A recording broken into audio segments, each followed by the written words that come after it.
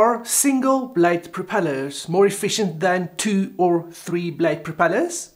The usual reason people give for why single blade props are more efficient is that it spins through undisturbed air, with the single blade not having to spin through the wake or turbulence of another blade.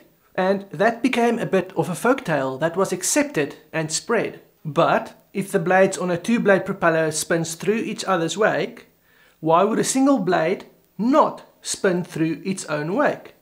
Either way, it doesn't matter because the blades on a single blade, two blade or three blade propeller does not spin through the wake of any other blade. The conjecture is that the second blade spins through the wake of the first blade and vice versa. Imagine this is an airplane moving forward, propeller spinning. Do you see that? This blade does not cut through the air where that blade did. The blades follow what is called a helical path, which takes the forward motion of the plane as well as the spinning motion of the propeller into account. Not buying it? Look at when propeller tip vortices form. It clearly shows each blade carving a unique and undisturbed three-dimensional path through the air. Else, the vortices would be blown all messed up by the other blades as they pass through it. Even with four blades on a propeller, none of the blades spin through the wake of other blades. So, with that cleared up, are there any remaining arguments for single blade propellers being more efficient? Actually, yes, but it's possibly not what you might expect and has to do with how a propeller absorbs an engine's power. The thrust a propeller creates is equal to the amount of drag of spinning the propeller. Now there are some caveats to this statement, but assuming optimum efficiency, thrust equals drag. You can't increase propeller thrust without also increasing the amount of drag when spinning it, and more propeller spin drag requires a more powerful engine. At a given propeller RPM, the amount of thrust a propeller creates, or the aerodynamic drag when spinning a propeller, is affected by blade length, blade chord, blade thickness or camber, the number of blades, and blade pitch. This is all a propeller designer has available to adjust to match a propeller to an engine. The more powerful an engine, the more some of these factors needs to be increased.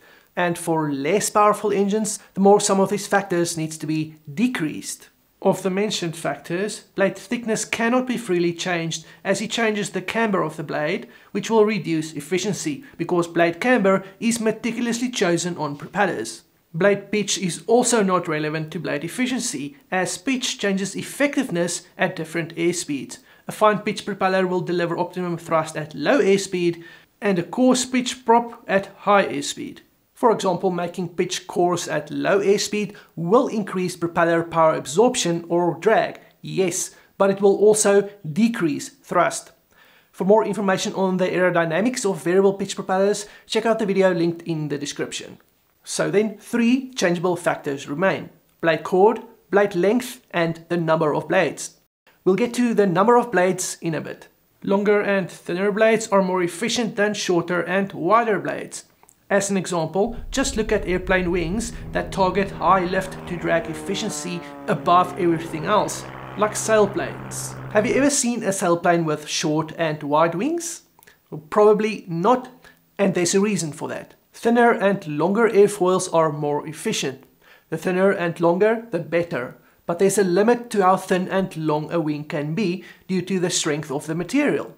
Make it too thin and it will simply be too weak. And from a practicality viewpoint, wings can only be made so long before storage, transport and ground handling becomes a problem. The same goes when it comes to propellers. Longer and thinner is more efficient. But besides the ground clearance limitation, propellers have an additional length limitation that wings don't. At any given propeller RPM, the longer the blades are, the faster the tips travel, and propellers become very inefficient as prop tip speed approaches Mach 1.0, and very few manufacturers will allow their prop tips to exceed Mach 0.8. This results in a fairly hard limit on propeller diameter. This means the most efficient way of increasing propeller power absorption, which is making the blades longer, has a limit and the only way to increase the power absorption of, for example, a two-blade propeller is by making the chord wider. This is ultimately effective in increasing power absorption, it's just not very aerodynamically efficient. And that brings us to single blade efficiency. On a less powerful engine, the power absorption or spin drag of a propeller used needs to be less than that of a propeller used on more powerful engines. So to reduce propeller power absorption or spin drag for lower horsepower engines, the blades need to be made thinner, shorter, or the number of blades needs to be reduced. But the most efficient way to achieve it would be by making the blade chord thinner. When the single blade prop first made an appearance in the 1930s, blade chord couldn't be made much thinner due to the strength of the materials available at the time, which was mostly wood.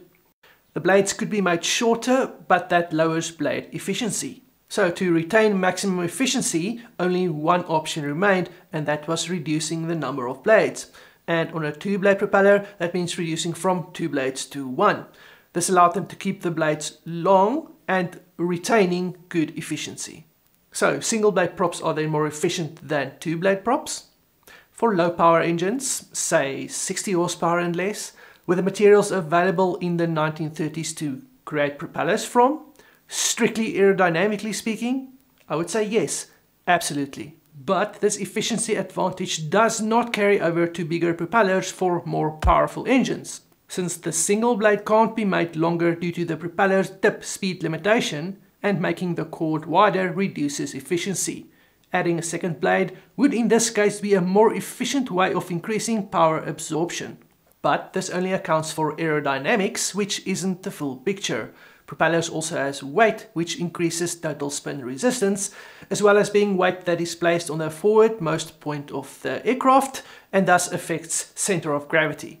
And here's one problem with single blade propellers. Adding a second blade does not double the total weight of the propeller. Only the weight of the blade portion is doubled. It still uses only one hub. However, by adding a second blade, total power absorption and thus thrust potential is doubled. So, double the power absorption for less than double the weight. Sounds like a pretty good deal if you ask me. So this puts single blade propellers at a slight disadvantage if also considering thrust potential to weight ratio. And this doesn't even account for the mass of the counterweight required on a single blade prop. And the Everel single blade propeller from the 1930s was actually outright heavier than a comparable two blade propeller due to the weight of the counterweight, which is a good segue into the balance of single blade propellers. As the single blade has mass, it would cause terrible vibration when spinning and thus a counterweight is required directly opposite the blade to cancel out this imbalance. But even when using a counterweight, the single blade prop is still unbalanced. This is because of all the forces acting on the propeller, which the counterweight can't cancel out. One of these forces is thrust bending. Thrust is a reactionary force. By accelerating air backwards, the blades will want to bend forwards, adhering to Newton's third law. Whether the material used can actually bend or not is irrelevant, as these forces are present regardless. On multi-blade propellers, the same force is applied on each blade, keeping it balanced, but on a single blade, it would create a bending force on the crankshaft or gearbox where the propeller is attached. But the designers of single blade propellers knew this, and the Everel single blade propeller from the 1930s had a teetering hub, allowing the hub and thus the blade to pivot forwards and backwards. This not only removed the thrust bending forces acting on the shaft, but made it smoother spinning than a typical two-blade propeller. Additionally, this teetering hub acts as a sort of automatic blade pitch changing mechanism. As the center of pressure on the blade changes, so does the pitch. At full power on takeoff, it would go to full fine pitch, and at reduced power settings in cruise, the blade pitch would automatically go coarser. The Everel single blade propeller was a masterful creation for its time, with the single blade aerodynamically being the most efficient propeller possible for low power engines, and the propeller weight penalty being offset by increased thrust due to the automatic pitch changing mechanism. Unfortunately, the Everel single blade propeller wasn't commercially successful, with only about 100 being sold. This was partly because it was 10 times more expensive than a comparable two-blade propeller of the time. Also, in reality, the automatic pitch changing mechanism didn't fully perform as promised, often getting stuck at full fine pitch. And with temperature changes, the counterweight needed to be adjusted making the propeller quite temperamental for day-to-day -day use. All that while being heavier than a typical two-blade prop, it just didn't make a whole lot of practical or financial sense. One might think that with modern technology and materials, those problems could be overcome and the single blade prop made to work. With its legendary efficiency, it could be the go-to prop for modern low-power aircraft. But actually, it's quite the opposite. Modern materials virtually makes the single blade propeller obsolete, at least aerodynamically speaking. With modern composite propellers, the blade chord can be made much thinner than it could be on the wooden propellers of the 1930s. So for low power engines, there is no need to reduce the number of blades from 2 to 1, as optimum efficiency and power absorption can be achieved by keeping two blades but making the blade chord thinner. But despite this, single blade props do have a place in modern aviation, though it has more to do with physical dimensions than aerodynamic efficiency. On motorized gliders with retractable engines, propeller dimensions are a bit of a problem. To have an efficient propeller, the blades needs to be long, but this would require a very large opening in the fuselage of the glider to stow the engine. And as a result, the blades are usually made shorter, often with more blades being added to increase power absorption but short blades reduces propeller efficiency. However, with a single blade prop, the blade can be made as long as propeller tip speed allows and can then still be stowed easier than a two blade prop. With the spinning diameter of a single blade prop being about double its physical length, single blade propellers have an undeniable advantage for motorized gliders. Thanks for sticking around till the end. If you found it informative, you'll also enjoy these videos about propellers. See you in the next one. And props to me for using a prop as a prop.